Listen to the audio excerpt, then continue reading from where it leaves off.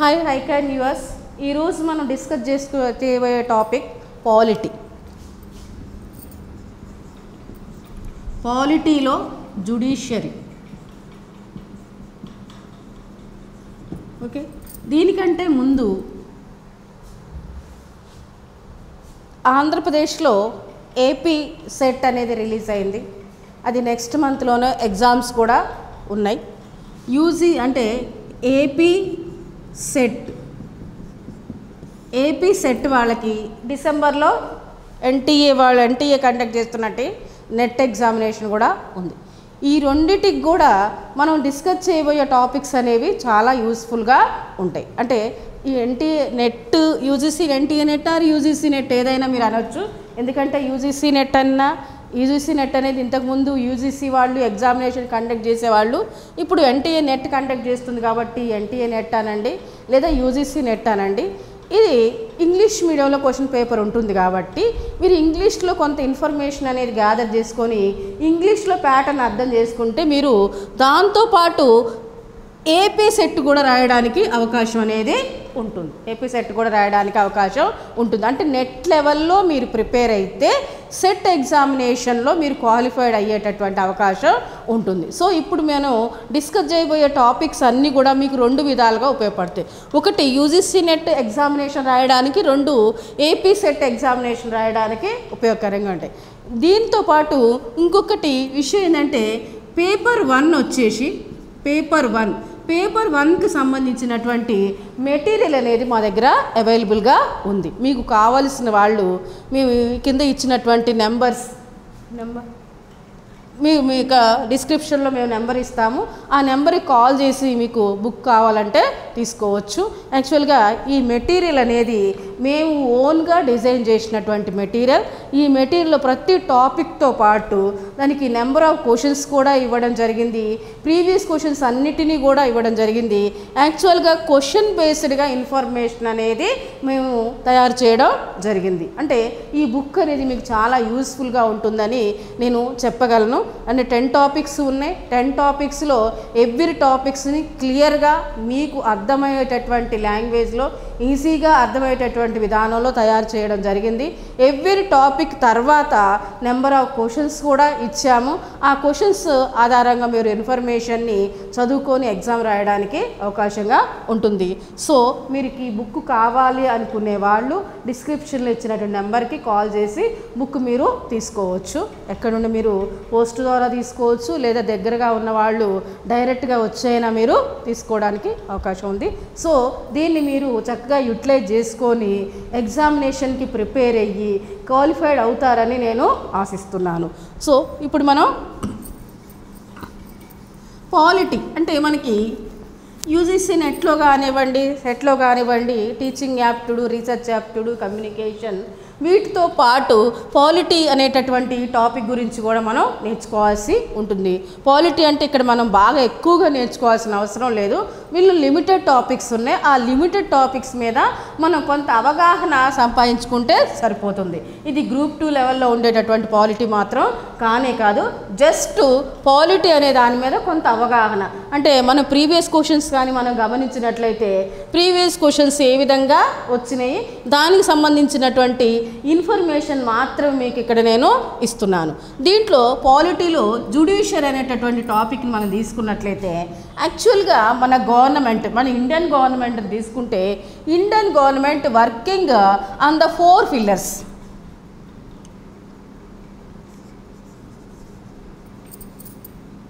executives legislators legislators judiciary and media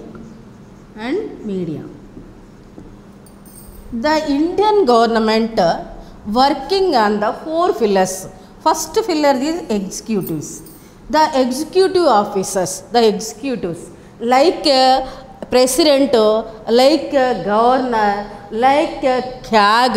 This all members, this type of members came into the executives వీళ్ళ executives ద్వారా మన government అనేది run అవుతుంది వాళ్ళకి అంటే తర్వాత లెజిస్లేటర్స్ అంట లెజిస్లేటర్స్ అంటే ఇక్కడ two types direct elections or indirect elections direct directly elected members or indirectly elected members ముఖ్యంగా చెప్పాలి అంటే డైరెక్ట్ అంటే Lok Sabha Rajya Sabha members legislators means Lok Sabha and Rajya Sabha members or legislators అంటే through the members of the Lok Sabha and Rajya Sabha members give అంటే providing some help to run the Indian government then third one is the judiciary ఇక judiciary also play vital role to run the Indian government దాంట్లో జుడిషియర్లో మనకి number of categories వస్తాయి so fourth one is the media fourth one is the media ఈ question మీకు two thousand fourteen maybe జూన్లో డిసెంబర్లో ఈ క్వశ్చన్ ఇవ్వడం జరిగింది which is the fourth pillar of the Indian government అని అడిగాను fourth estate or fourth pillar దీన్ని ఎస్టేట్ అనొచ్చు ఫిల్లర్ అని కూడా అనొచ్చు వీటిని ఎస్టేట్ అని పిలుస్తాం లేదా పిల్లర్స్ అని పిలుస్తాం which is the fourth estate అంటే అది మీడియా మీడియాని ఫోర్త్ ఎస్టేట్ అని ఎందుకంటాము దీనికి మన గవర్నమెంట్లో ఎందుకు ఇంత ప్రాముఖ్యత అనేది ఇచ్చాము అంటే యాక్చువల్గా మీడియా అనేది media play a vital role in between the government and people government and people అంటే the media giving the information about the government to the people and also giving the అంటే giving the requirements giving the needs about అంటే for the people to the government అంటే media is playing a vital role in between the government and also people the media is giving the information about the government, how it is run.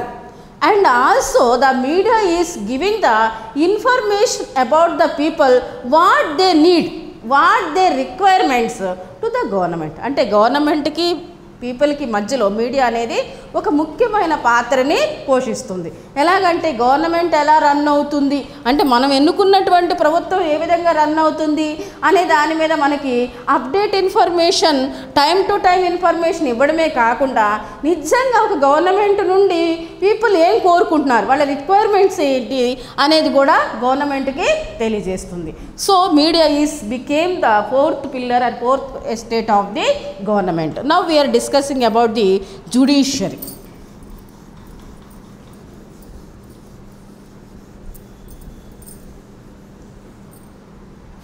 First time మన అంటే మనకి ఇండియాలో first time జుడిషియర్ అనేటటువంటి concept ఎప్పుడు వచ్చింది seventeen seventy three Calcutta regulation act Calcutta regulation act regulation act that the concept of the judiciary introduced in India through the 1773 Calcutta Regulation Act. 1773 Calcutta Regulation Act. This is the, and who introduced this uh, judiciary in India means Warren Hastings. Warren Hastings. Yet two things we have to remember that when the judiciary introduced in India, and who introduced the judiciary in India? Through the 1773 regulation, Calcutta Regulation Act, the judiciary introduced in India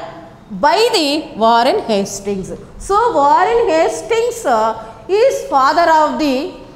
judiciary, he was the father of the judiciary. This is the judiciary. Actually, Indian judiciary అనేది ఎలా ఉంటుంది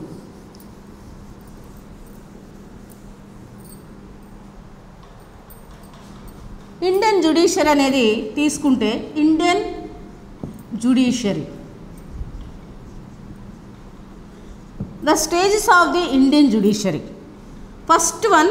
supreme court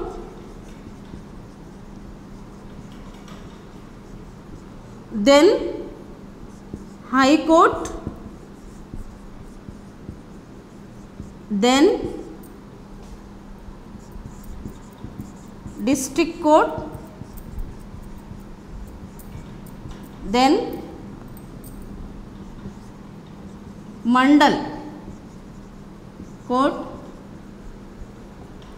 then panchayats these are the categories of the Indian judiciary Indian judiciary అనేది సుప్రీంకోర్టుని start అయ్యి supreme court దాని కింద high court next district court and mandal court then panchayat these are the categories of the Indian judiciary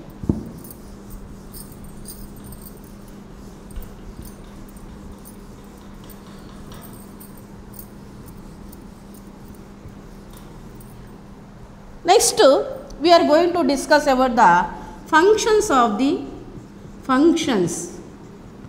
of the Supreme Court. Supreme Court. Functions of the Supreme Court. First one, original jurisdiction. Original jurisdiction.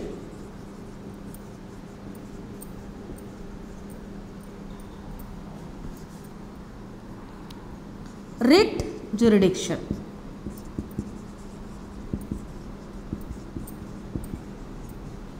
Appellate jurisdiction.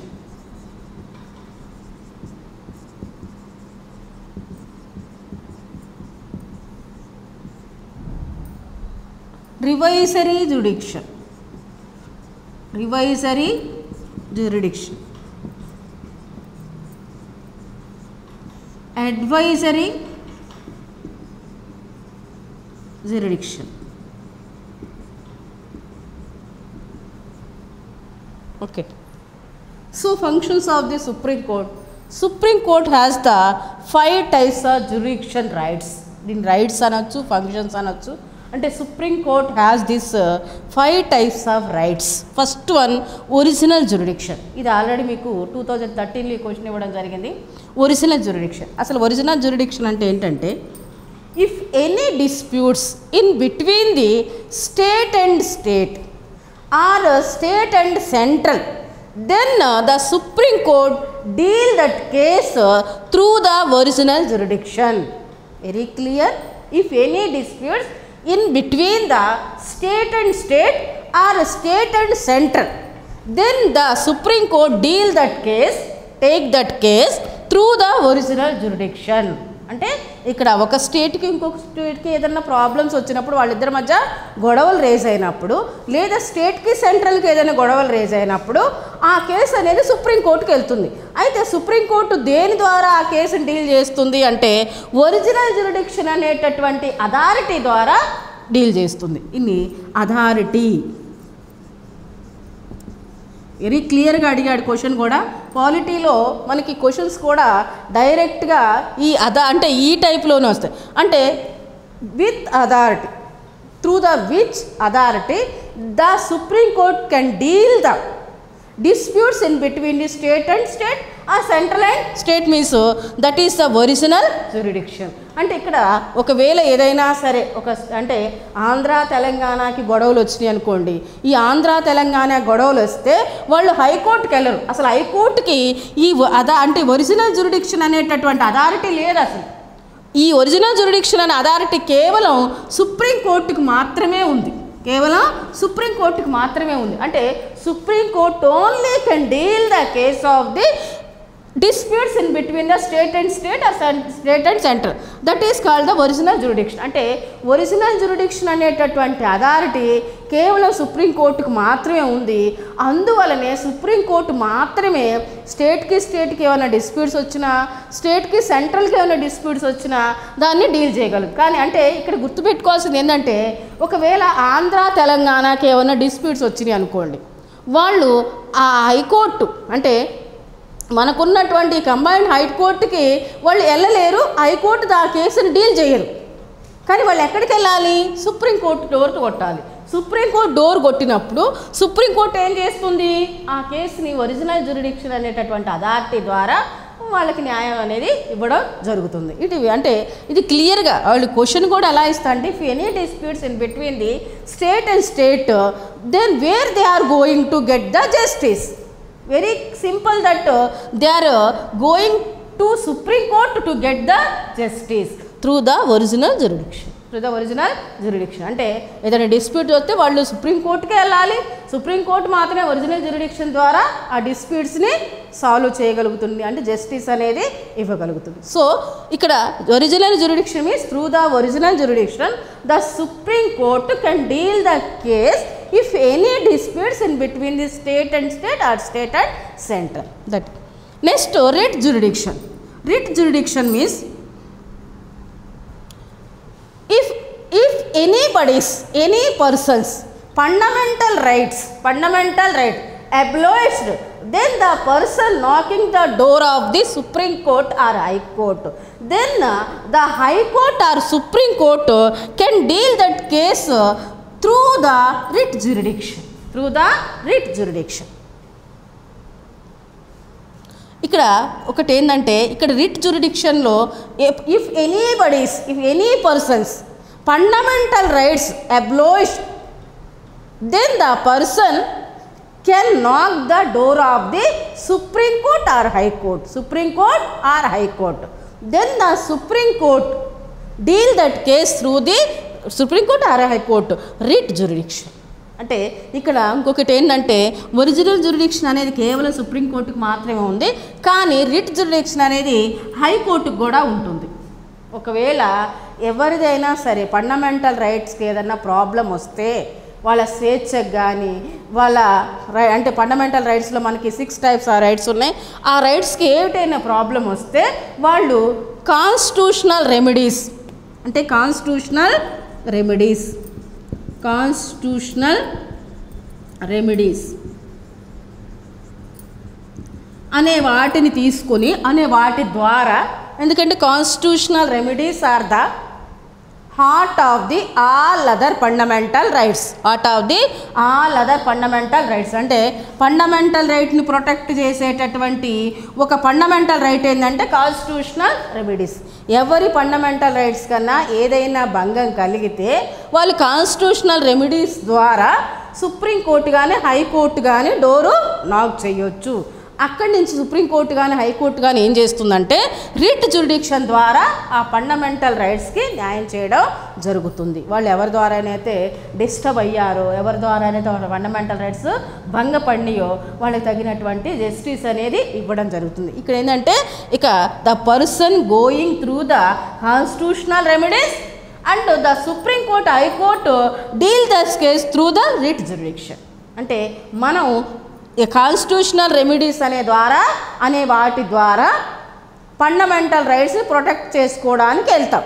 అటు నుండి supreme court కానీ high court కానీ writ జ్యుడిక్షన్ ద్వారా ఆ కేసుని deal చేస్తుందని చెప్పడం అంటే ఇక్కడ మనకి గుర్తుపెట్టుకోవాలి ఏంటంటే రిట్ జ్యుడిక్షన్ అనేది మన ఇండియాలో ఒక సుప్రీంకోర్టుకి మరియు హైకోర్టుకి ఉంది ఇంకా జిల్లా కోర్ట్స్ కానీ మండల కోర్ట్స్ కానీ ఉండదు ఓకే సో రిట్ జ్యుడిక్షన్ అనేది ఎవరెవరికి ఉంది అంటే writ jurisdiction authority has two courts that is the Supreme Court and High Court next appellate jurisdiction appellate jurisdiction if anybody fail in the High Court then that person reappellate in the Supreme Court and also that case deal by the Supreme Court according to that according to that situation according to that proofs or anything అంటే ఇక్కడ ఏం చెప్తున్నా అంటే if anybody failed in the High Court that person that candidate can go to the Supreme Court అంటే further reappealing And again he can appeal, reappeal in the Supreme Court of the same case. But Supreme Court what, is, what it is doing means that justice given by the Supreme Court according to his wish, according to his wish, according to his wish means it is not taking the not taking the judgement of this High Court judgement of the High Court. It Supreme Court can give the his own judgement its own ఇక్కడ very clear ఏంటంటే ఒక వరుసను హైకోర్టులో ఓడిపోతే అతను supreme కోర్టుకి వెళ్తాడు ఆ సుప్రీంకోర్టుకి వెళ్తే సుప్రీంకోర్టు ఏం చేస్తుంది అక్కడున్నటువంటి ఆ ప్రూఫ్స్ ఆధారంగా అక్కడున్నటువంటి లాయర్స్ ఆ సామర్థ్యం ఆధారంగా ఆ సిచ్యువేషన్ ఆధారంగా అతని కేసుని డీల్ చేయడం జరుగుతుంది అతని జడ్జిమెంట్ అనేది ఇవ్వడం జరుగుతుంది కానీ హైకోర్టు ఇచ్చినటువంటి జడ్జిమెంట్ని తిరిగి ఇవ్వడం కానీ హైకోర్టు ఇచ్చినటువంటి జడ్జిమెంట్ని ఆధారంగా జడ్జిమెంట్ ఇవ్వడం కానీ జరగదు ఒక ఒక కేసులో అంటే ఫర్ ఎగ్జాంపుల్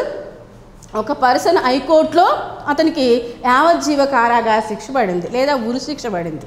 కానీ సుప్రీంకోర్టుకి వెళ్ళినప్పుడు అతను అసలు ఆ కేసునే కొట్టేయడం జరిగింది ఎవరికైతే యావజ్జీవ కారాగా శిక్ష పడిందో ఎవరికైతే ఉరిశిక్ష పడిందో వాళ్ళు సుప్రీంకోర్టుకి వెళ్ళిన తర్వాత వాళ్ళకి అసలు ఆ శిక్ష నుండే వాళ్ళని అంటే రిమూవ్ చేయడం జరిగింది అసలు అసలు అతనికి ఏ శిక్ష కూడా పడలేదు అంటే ఇక్కడ అర్థం ఏంటి సుప్రీంకోర్టు హైకోర్టు ఇచ్చినటువంటి జడ్జిమెంట్ని మ్యాండేటెడ్గా తీసుకోదు దానికి సంబంధం లేదు అక్కడ ఉన్నటువంటి సిచ్యువేషన్ ఆ లాయర్ సామర్థ్యాన్ని బట్టి మనకి ఈ జడ్జిమెంట్ అనేది ఇవ్వడం జరుగుతుంది మీరు చాలా కేసెస్లో చూసే ఉంటారు రీసెంట్గా సల్మాన్ ఖాన్ కేసులో కూడా చూసినప్పుడు అక్కడ మహారాష్ట్ర హైకోర్టులో అతనికి పెద్ద శిక్ష పడింది కానీ సుప్రీంకోర్టుకి వెళ్ళిన తర్వాత ఆ శిక్ష నుండి అతను శిక్ష పడకుండా బయటకి వచ్చాడు సో ఇదంతా కూడా ఏంటిదంటే అక్కడ Supreme Court in the Supreme Court we can uh, re-appeal any one of the case if we failed in the High Court and uh, that case dealt by the Supreme Court according to its wish, according to its wish. That is the appellate jurisdiction. మనం ఏదైనా సరే హైకోర్టులో పోతే సుప్రీంకోర్టులో appeal చేసుకోవచ్చు revisory jurisdiction revisory jurisdiction అనేది very very important for the Supreme Court ఎందుకంటే ఏదైనా case already closed already closed. Already everything is over, that uh, time also passed. But uh, that Supreme Court revised the closed cases uh, after some time, after some months, after few days, after some years. That is revisory jurisdiction. Revisory jurisdiction means already closed cases can revise by the Supreme Court, can revise by the Supreme Court, that is the revisory jurisdiction. యాక్చువల్గా మనకి ఇక్కడ supreme కోర్టుకి ఏంటంటే already కొన్ని cases close అయ్యి ఉంటాయి వాళ్ళకి పడాల్సిన శిక్ష పడి ఉంటుంది లేకపోతే బయటకు వచ్చే వాళ్ళు వస్తారు ఎనీవే దాట్ కేసు ఆల్రెడీ ఆ ఫైల్ క్లోజ్ చేశారు బట్ ఆఫ్టర్ సమ్ డేస్ కావచ్చు సమ్ మంత్స్ కావచ్చు సమ్ ఇయర్స్ కావచ్చు సుప్రీంకోర్టు అదే కేసుని మళ్ళీ రివైజ్ చేసి మళ్ళీ ఓపెన్ చేసి దాని గురించి మళ్ళీ సమాచారాన్ని సేకరించి దాని గురించి ఇంకా మళ్ళీ జడ్జిమెంట్ ఇవ్వడానికి అవకాశం ఉంది that is called the revisory jurisdiction next advisory jurisdiction యాక్చువల్గా చెప్పాలంటే Supreme Court one of the advisory board for the Indian government Indian for the president for the prime minister for the అంటే our government the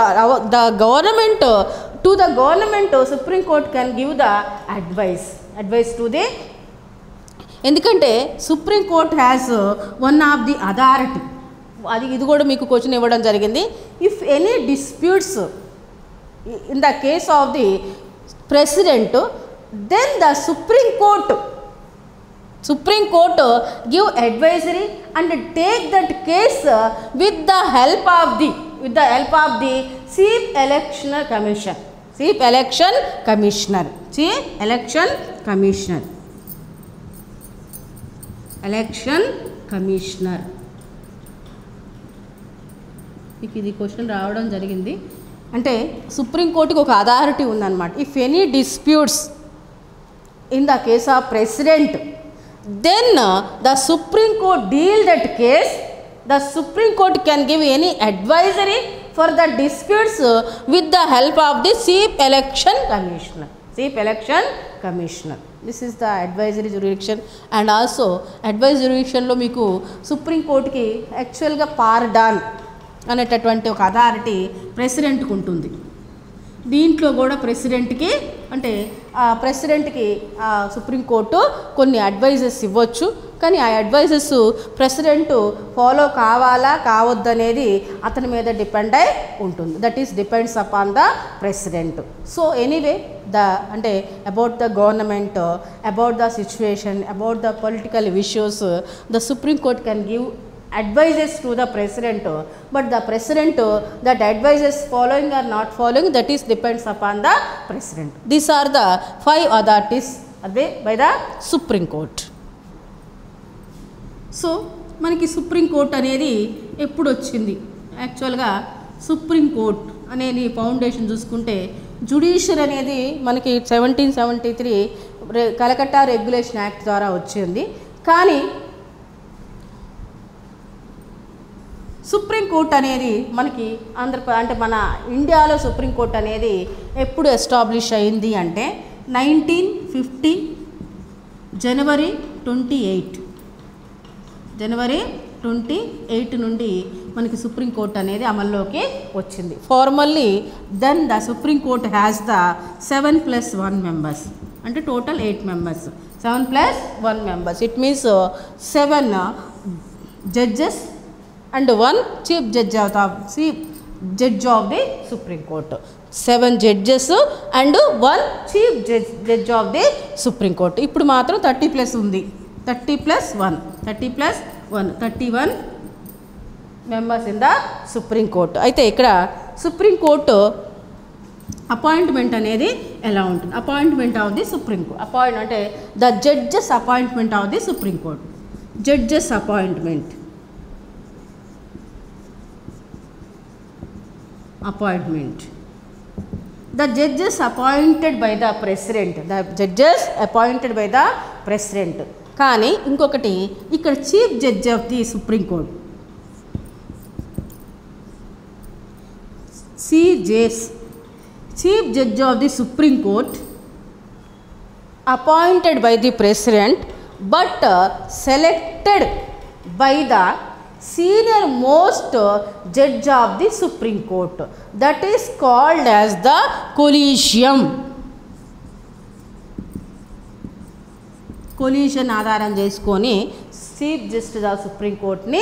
select చేయడం అనేది జరుగుతుంది అంటే chief జస్టిస్ని ఎవరు select చేస్తారంటే senior most judges of the court then the president appointed the that person ఎవరైతే ఎవరినైతే సీనియర్ మోస్ట్ జడ్జెస్ అందరు సెలెక్ట్ చేశారో ఆ పర్సన్ని ప్రెసిడెంట్ చీఫ్ జస్టిస్గా అపాయింట్ చేస్తాడు next qualifications for the judges of the supreme court qualifications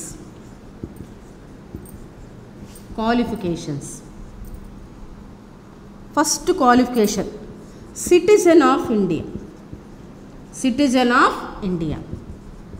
first qualification compulsory qualification first qualification compulsory qualification ఈ compulsory క్వాలిఫికేషన్లో compulsory the person must be a citizen of India అతను భారత పౌరుడై ఉండాలి రెండోది he worked five years as a judge as a judge in any court అంటే he must be has the five years experience as a working in any and working as a judge in the any court he has the five years experience for the judge for the judge in any court or or అంటే ఇది కాకపోతే ఒకవేళ అది కాకపోతే ten years experience for the lawyer ten years experience ten years experience as advocate అంటే lawyer అంటే ఫస్ట్ది compulsory qualification ఉండాలి సెకండ్ క్వాలిఫికేషన్లో వచ్చేసి ఇవన్నీ అంటే అతనికి ఏదైనా ఒక కోర్టులో అంటే కింది కోర్టులు అంటే సుప్రీంకోర్టులో కానీ హైకోర్టులో కానీ ఫైవ్ ఇయర్స్ జడ్జ్గా చేసినటువంటి ఎక్స్పీరియన్స్ అన్నా ఉండాలి లేదా టెన్ ఇయర్స్ అడ్వకేట్ లాయర్గా చేసినటువంటి ఎక్స్పీరియన్స్ అన్నా ఉండాలి లేదా ఇంకొకటి థర్డ్ ఆప్షన్ ఏంటంటే ఈ president feels deem to fit for that post then the president appointed as the judge of the supreme court ఈ థర్డ్ ఆప్షన్ అనేది చాలా అంటే మీకు చాలా కేసెస్లో ఇది జరగదు కానీ ఒకవేళ president feels that person is fit for that fit for that job then the president can appoint the judge of the Supreme Court అంటే అతని ఎక్కడా కూడా ఏ కోర్టులో కూడా పని చేయలేదు అసలు ఏ కోర్టులో కూడా అతనికి పని చేసినట్టు ఎక్స్పీరియన్స్ లేదు కానీ అతనికి లా మీద మంచి ఎక్స్పీరియన్స్ ఉంది లా మీద మంచి నాలెడ్జ్ ఉంది సో ఇవన్నీ చూసిన తర్వాత ప్రెసిడెంట్కి ఆ పోస్ట్కి అతను ఫిట్ అని అనిపిస్తే అతను అపాయింట్ చేయడానికి అవకాశం ఉంది కానీ మన ఇండియాలో ఇంతవరకు ఎవరు కూడా ఆ బేస్లో జడ్జ్ జడ్జిగా సుప్రీంకోర్టు జడ్జిగా రాలేదనే చెప్పవచ్చు అంటే ప్రెసిడెంటు ఇతను ఈ పోస్ట్కి ఫిట్ అనుకొని ఈ పోస్ట్కి సూటబుల్ అనుకొని అపాయింట్ చేసినటువంటి పర్సన్ అయితే మన ఇండియాలో ఇంతవరకు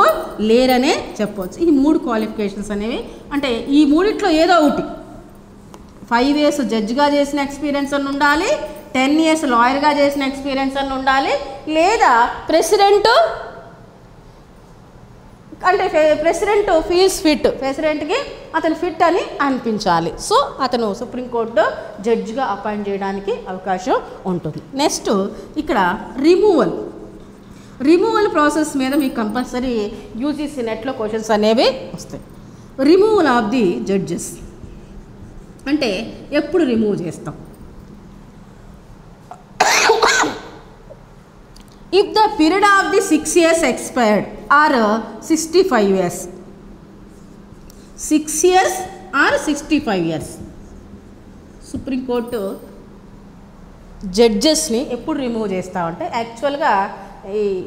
మన కాన్స్టిట్యూషన్ ఇది మెన్షన్ చేయలేదు కానీ యాక్చువల్గా the period of the supreme court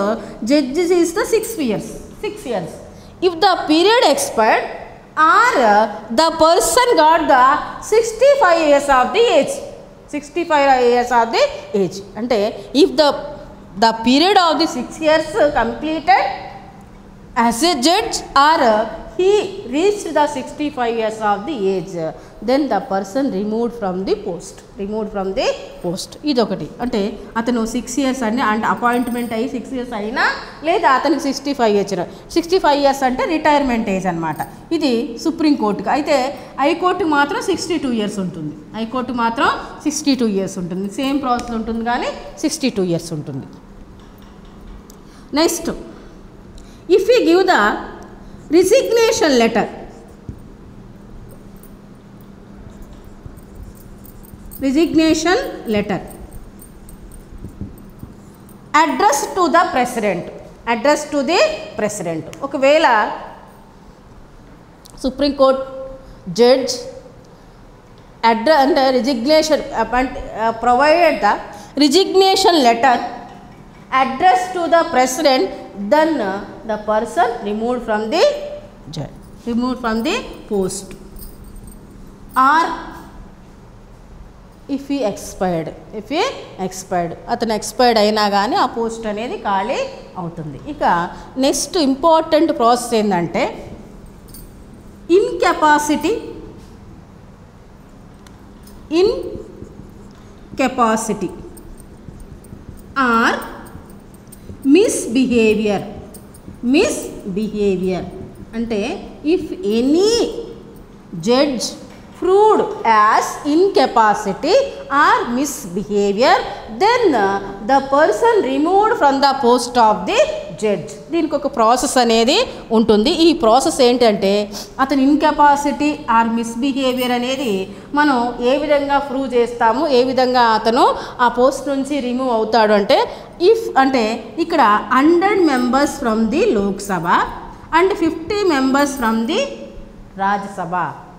అంటే hundred members from the Lok Sabha and fifty members from the Rajya Sabha writ అంటే అంటే should give the return notice return notice to the judge before the removal of the fourteen days before the removal of the fourteen days అంటే ఇక్కడ ఏంటంటే ఇక్కడ ఒకవేళ ఆ judge అనేది జడ్జికి incapacity ఉంది లేదా మిస్బిహేవియర్ ఉంది అని మనం ప్రూవ్ చేయాలంటే ఒక ప్రాసెస్ ప్రకారంగా ప్రూవ్ చేయాలి ఎప్పుడు అంటే ప్రాసెస్ ప్రకారం మనకు అనిపించినప్పుడు ఒక టె hundred members Lok Sabha members agree చేయాలి ఫిఫ్టీ మెంబర్స్ రాజ్యసభ మెంబర్స్ కలిసి ఒక రిటర్న్ నోటీస్ అనేది ఫోర్టీన్ డేస్ బిఫోర్ అతనికి ఇవ్వాలి అంటే ఫోర్టీన్ డేస్ బిఫోర్ అంటే within this fourteen days he has to prove that He has to prove that uh, he has the capacity and he has the not uh, behave like a misbehave. ఈ fourteen డేస్లో నేను misbehave చేయలేదు నాకు incapacity అనేది కాదంటే నేను capacity ఉన్నటువంటి పర్సన్ని అని తను ప్రూవ్ చేసుకోవాలి అంటే ఎలా ప్రూవ్ చేసుకోవాలి the judge proved through the three members of the three members of the committee three members of the committee three members ఎవరు ఉంటారు అంటే జడ్జెస్ ఈ త్రీ మెంబర్స్ ఎవరంటే judges three judges of the committee అంటే through the three judges of the committee the judge should be proved that he is not guilty not guilty అతను ఆ తప్పు చేయలేదు అంటే మిస్బిహేవ్ చేయలేదు లేదా ఇన్కెపాసిటీ అనేది లేదు అంటే కెపాసిటీ అనేది ఉంది అని త్రీ జడ్జెస్ కమిటీ ద్వారా తను ప్రూవ్ చేసుకోవాలి if he unable to prove through that three members of the committee three judges of the committee then the bill the bill introduced either in the Lok Sabha or in the Raj Sabha. Then two third of the people from the both Sabhas, two third of the people. Two third of the people from the both houses give the, give the solution for the remove of the judges of the supreme court అంటే ఇక్కడ ఈ ప్రాసెస్లో కూడా compulsory two third of the people agree to remove that person from the post ఆ bill pass అయినప్పటికీ అంటే bill introduce అయినప్పటికీ కూడా కనీసం రెండు బై మూడో వంతు ప్రజలు అంటే రెండు బై మూడో వంతు మెంబర్స్ ఇతన్ని తీసేయాలి అనేటటువంటి దాని మీద వాళ్ళు సైన్ చేయాలి అప్పుడు దట్ లాస్ట్ స్టెప్లో ఏమవుతుందంటే the president can remove the person from the post remove the person from the post this is the process to misbehaviour or incapacity to remove the judge from the Supreme Court ఇది removal of the judges ఎప్పుడు remove చేస్తామంటే అతను six year period అయిపోయినప్పుడు కానీ లేదా అతను sixty five ఇయర్స్కి reach అయినప్పుడు అతను రిజిగ్నేషన్ లెటర్ని ప్రెసిడెంట్ అడ్రస్తో ఇచ్చిన అంటే ప్రెసిడెంట్కి అడ్రస్ చేసినప్పుడు లేదా అతను ఎక్స్పైర్ అయినప్పుడు లేదా ఫోర్త్ స్టెప్లో if you behave the misbehaviour or has the incapacity to remove from the post This is the Supreme Court removal of the process. Next Supreme Court అనే దాని గురించి మనం మాట్లాడుకుంటే supreme court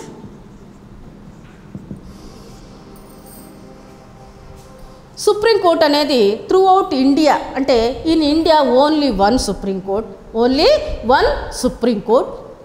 but if you need if you want we can establish the branch of the Supreme Court establish the branch of the Supreme ఒకవేళ మనకి supreme court ఇంకోటి కావాలి అనుకుంటే అప్పుడు మనం ఇంకొక సుప్రీం కోర్టును కూడా మనం ఎస్టాబ్లిష్ చేసుకోవచ్చు అంటే మన సుప్రీం కోర్టు గురించి చెప్పాలి అంటే మన సుప్రీం కోర్టు అనేది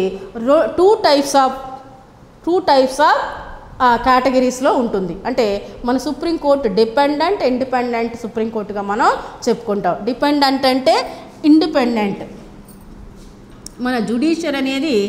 ఇండిపెండెంట్ డిపెండెంట్ ఇండిపెండెంట్ డిపెండెంట్ మన జుడిషియర్కి టూ క్యారెక్టరిస్టిక్స్ ఉన్నాయి ఒకటి ఏంటంటే ఇండిపెండెంట్ క్యారెక్టరిస్టిక్ ఇంకొకటి డిపెండెంట్ క్యారెక్టర్స్ ఇండిపెండెంట్ అంటే the higher authority of the Supreme Court is the independent character independent character అంటే ఇండిపెండెంట్ అంటే the Supreme Court judgement is the final judgement Supreme Court judgement is the final judgement nobody can change the judgement అంటే president కానీ prime minister కానీ ఎవ్వరు కూడా supreme court ఇచ్చినటువంటి తీర్పుని change చేయడానికి అవకాశం లేదు so it is called the independent authority independent characteristic next dependent characteristic dependent characteristic అంటే అంటే బిలో ద సుప్రీంకోర్టు అంటే High Court district court mandal court all are the dependent characteristic dependent characteristic అంటే if the High Court judgement is can be changed by the Supreme Court అంటే High Court judgement is not final judgement it can be changed by the Supreme Court that is the independent and dependent ఎందుకంటే ఇవి మనకి ఈ రెండు కూడా ఉన్నటువంటి characteristics ఎందుకంటే బ్రిటన్లో కేవలం డిపెండెంట్ మాత్రమే ఉన్నటువంటి జ్యుడిషియరీ ఉంది ఎందుకంటే బ్రిటన్లో సుప్రీంకోర్టు ఇచ్చినటువంటి తీర్పు ఫైనల్ తీర్పు కాదు మళ్ళీ పార్లమెంటరీ దాన్ని చేంజ్ చేసినటువంటి అవకాశం ఉంది ఒకవేళ అమెరికాను తీసుకుంటే అది ఇండిపెండెంట్ ఇండిపెండెంట్ ఎందుకంటే అమెరికాలో సుప్రీంకోర్టు ఇచ్చినటువంటి ఆ జడ్జిమెంట్ ఏదైతే ఉందో అది ఫైనల్ జడ్జిమెంట్ సో కానీ ఆ బ్రిటన్ అమెరికా రెండు క్యారెక్టరిస్టిక్స్ ఉన్నటువంటి జుడిషియరీ మన భారతదేశంలోనే ఉంది this is the Supreme Court Supreme Court అనేది హయ్యర్ అథారిటీ అంటే below the Supreme Court there are number of courts are there but this all the court depend upon the Supreme Court once again I am telling that ఇంకొకసారి మీకు చెప్తున్నాను మీకు డిసెంబర్లో examinations ఉన్నాయి already notification కూడా UGC notification కూడా వచ్చింది AP CET notification కూడా వచ్చింది ఏపీలో కూడా మీకు నెక్స్ట్ మంత్ ఎగ్జామినేషన్స్ ఉన్నాయి మీరు వీలైనంత త్వరగా అంటే మీకు ఒకవేళ దీని మీద తీసుకోవాలని ఉంటే మీరు వీలైనంత త్వరగా బుక్స్ తీసుకొని మీ యొక్క ప్రిపరేషన్ స్టార్ట్ చేస్తే చాలా మంచిది ఆల్ ద బెస్ట్